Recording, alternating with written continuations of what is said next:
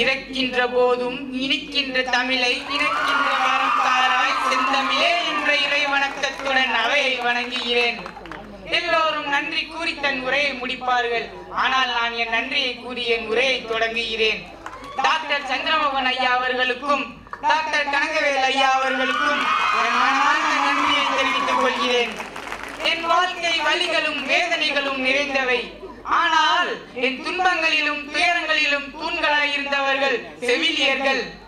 என் துன்பத்தை இன்பமாய் மாற்றி ஐயோ அம்மா என்னும் என் அலர்களை ஆனந்தமாய் மாற்றியவர்கள் மருத்துவர்கள் தான் தன்னிடம் நீரும் தாழ்ந்து வரும் காற்றும் விண்ணிடியும் ஒளியும் எப்படி வித்தியாசம் இல்லாமல் இந்த மண்ணுலக மக்களுக்கு மகிழ்ச்சியை தருகிறதோ அப்படி எந்த ஒரு வேறுபாடு பார்க்காமல் நம் மக்களின் நலன் கருதி பணிபுரிபவர்கள் நம் மருத்துவத்துறையில் இருப்பவர்கள் தான் இப்ப நம்ம ரோட்ல போறப்ப ஒருத்தர் கீழே விழுந்து நம்ம எல்லாம் என்ன பண்ணுவோம்?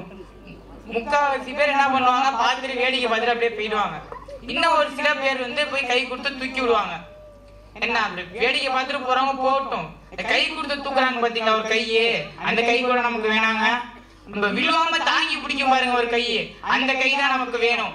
கரம் கொடுங்கள். காப்பாற்றுவதற்காக அல்ல காப்பதற்காக. அதான் விழித்தல் இப்ப பாத்தீங்கன்னா நம்ம எல்லாருக்கும் ஒரு ப்ராப்ளம் நல்லா தெரியும்.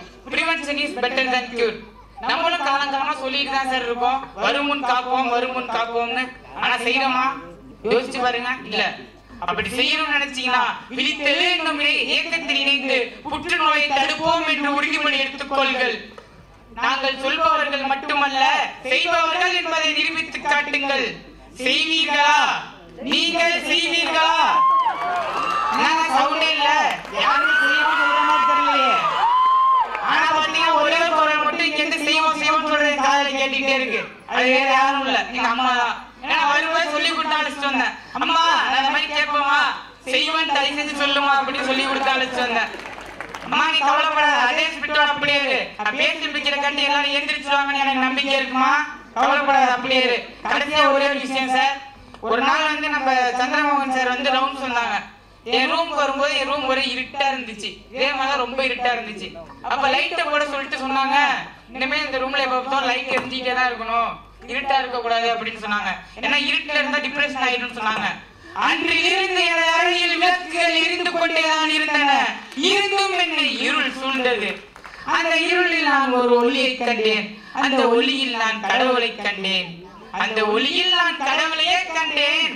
நான் கண்ட கடவுளை உங்களுக்கு காட்டுகிறேன். நான் கண்ட கடவுளை உங்களுக்கும் காட்டுகிறேன். அது வேறு யாரும் அல்ல நம் டாக்டர் சந்திரமோகன் அவர்கள் தான் அன்று என் இருளிற்கு வெளிச்சம் தந்த இந்த ஒளி இன்று இருள் சூழ்ந்து விடக்கூடாது என்பதற்காக விழித்தெழு என்னும் விளக்கை ஏற்றியுள்ளது. எரியும் நெருப்பில் எண்ணெய் ஊற்றாதே என்பார்கள். ஆனால் இந்த நெருப்பில் எண்ணெய் ஊற்றுவோம் ஒளி செய்வோம். நான் என்னை ஊற்றி விட்டேன் நான் என்னையே ஊற்றி விட்டேன் நீங்களும் உங்களை ஈடுபடுத்திக் கொண்டு விழித்தெழுங்கள். உணர்ந்தவர்கள் உடனே விழித்தெழுங்கள். மா விக்கியாமா என்னங்க? இன்னும் நீங்களாம் முடிக்கவே இல்லையாங்க? உணர்ந்தவர்கள் உடனே விழித்தெழுங்கள் உணர்ந்தவர்கள் உடனே விழித்தெழுங்கள். உங்கள் இருக்கையில் இருந்து விளக்கக் கூறுங்கள், நாங்கள் விழித்தெழுந்து விட்டோம் என்று இவ்விளக்கை வானோக்கி உயர்த்தி இவ்வுலகம் ஒளிபரச் செய்வோம் பொதுவா நான் வெளில போறப்பெல்லாம் என்னை பார்த்து சொல்றது என்னன்னா இந்த கலர் பட்டனை போட்டுக்கப்பா இந்த தழும்பு தெரியக்கூடாது அப்படின்னு தான் சொல்றாங்க. இவன் இனிமே எப்படி வாழ போறான் அப்படின்னு கேக்குறாங்க. அப்படி கேக்குறவங்க நான் ஒன்னேன்னு சொல்லிக்க விரும்புறேன். தழும்பல்ல. நான் விழுந்து நான் வீழ்ந்து விட்டேன் என்று நினைக்காதீர்கள். நான் விழுந்தேன் ஆனால் வீழவில்லை. விழித்தெழுந்தேன். இது தழும்பல்ல. என் தன்னம்பிக்கையடா. நான் ஃபர்ஸ்ட் இடத்துல ஒரு ப்ராவப் ஒன்று சொல்லி ஆரம்பிக்கணும்னு நினைச்சேன். அது என்ன ப்ராவப்னா ஹெல்த் இஸ் வெல்த் ரொம்ப அருமையான ப்ராவப்னா அது. அந்த ப்ராவப் நான் எப்படி ஃபர்ஸ்ட் சொல்றதுக்கு மறந்தனோ அந்த ப்ராவப் நான் ஃபர்ஸ்ட் நினைக்கிறதுக்கு மறந்துட்டேன் என் வாழ்க்கையில. அப்படி நினைக்க மறந்தனால நான் இப்ப முன்னாடி போய் நிக்கிறேன். அந்த ப்ராவப் இப்ப நல்லா நான் உணர்ந்துட்டேங்க. நீங்க அதை உணர வேணாம். நீங்க அதை நினைச்சுக்கிட்டா மட்டும் போதும். அதாவது பார்த்தீங்கன்னா நோயற்ற வாழ்வே குறைவற்ற செல்வம். நினைவில் இருக்கட்டும் என்றும் என்றென்றும் உங்கள் அக்கறையுடன் உங்களை மீட்டெடு மீட்டெடுப்பதற்காக மீண்டு வந்த உங்கள் நான். நன்றி வணக்கம். இவ்வளவு ஒரு அருமையா பேசுற முகிலன் ஏன் அந்த இருட்டு அறையில இருக்கிறேன்னு இருந்தேன்னு மட்டும் சொல்லல. அது சொன்னாதான் அந்த இல்ல? I don't want to create sympathy sir it is not sympathy அவங்க சொல்றாங்க பாத்தீங்களா? அடுத்தவங்க ஒரு தவறு செய்ய வேண்டாம்னு நினைச்சதுனால தான் இங்க நீங்க வந்திருக்கீங்க. அதுதானே வந்திருக்கீங்க? அதுக்காக சார் வந்திருக்கேன். அந்த ஒரு காரணத்துக்காக அது மட்டும்தான். இப்ப நான் வந்து கீழே விழுந்து அது எவ்வளவு வலிக்குன்னு எனக்கு தெரியும். யாரும் விழக்கூடாது நான் தாங்கி பிடிக்கிறேன். எல்லாருமே கீழே விழுந்து மட்டும் தான் நினைச்சுக்கிட்டு இருப்பாங்க. ஆமா சார் நான் வந்து என்ன பண்ணேன் அப்படின்னா ஆசிட் கன்சப்ஷன் பண்ணிட்டேன். சூசைட் பண்ணிக்கிட்டேன் நான் ஒரு ஒன்றரை வருஷத்துக்கு முன்னாடி. ஆனா ஒரு வருஷம் என்னால் சாப்பிடவே முடியல. ரொம்ப கஷ்டப்பட்டேன். ஒரு வருஷம் ஆயிடுச்சு கரெக்டாக நான் சாப்பிட்றதுக்கு கரெக்டாக ஒரு வருஷம் ஆயிடுச்சு. ஆனா எப்படி சொல்றேன்னு தெரியல. அந்த நான் சாப்பிட்ட அந்த ஒரு நிமிஷம் வந்து எனக்கு சாப்பிட முடியாம ரொம்ப நாள் ஏங்கியிருக்கேன் அழுதுருக்கேன். அதை சாப்பிட்ட ஒரு நிமிஷம் வந்து அப்பாடா அப்படின்னு நான் வந்து ஏன் சார் ரூமுக்கு வந்தப்ப நான் ஏந்திரிக்க கூட முடியல ஒரு நாள் அன்னைக்கு. அன்னைக்கு நான் ரொம்ப வெயிட் லாஸ் ஆகிட்டேன் இவங்க கூட சொன்னாங்க நான் ஐம்பது கிலோ தான் இருக்கேன்னு. நான் வெறும் இருபது கிலோ தான் இருந்தேன். இப்போ ஐம்பது கிலோ இருக்கேன். அதுவே பெரிய விஷயமா நான் நினைக்கிறேன் நான். அதுதான் தெரியும். இவர் வந்துட்டு இவ்வளோ அருமையா பேசக்கூடியவர்.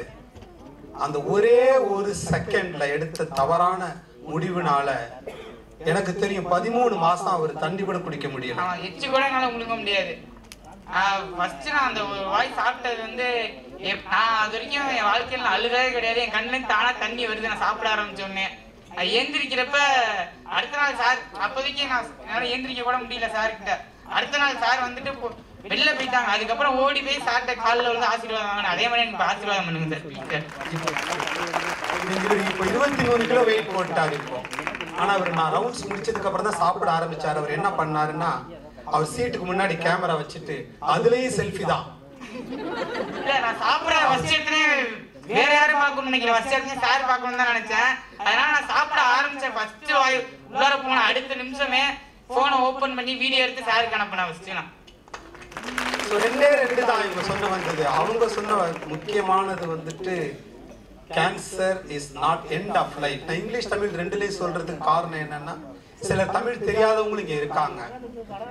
ஸோ புற்றுநோய்னு கண்டுபிடிச்சிட்டு அது முடிவல்ல அப்படிங்கிறதுக்கு உதாரணம் இவங்களும் அங்கே பேசினாங்களே சில்வர் ஜூபிலி அவங்களும். தவறு செஞ்சிடாதீங்க அப்படின்னு சொல்றதுக்கே வரும் செஞ்சும் நல்லா வாழ முடியும் ரெண்டு பேருக்கு உதாரணம்.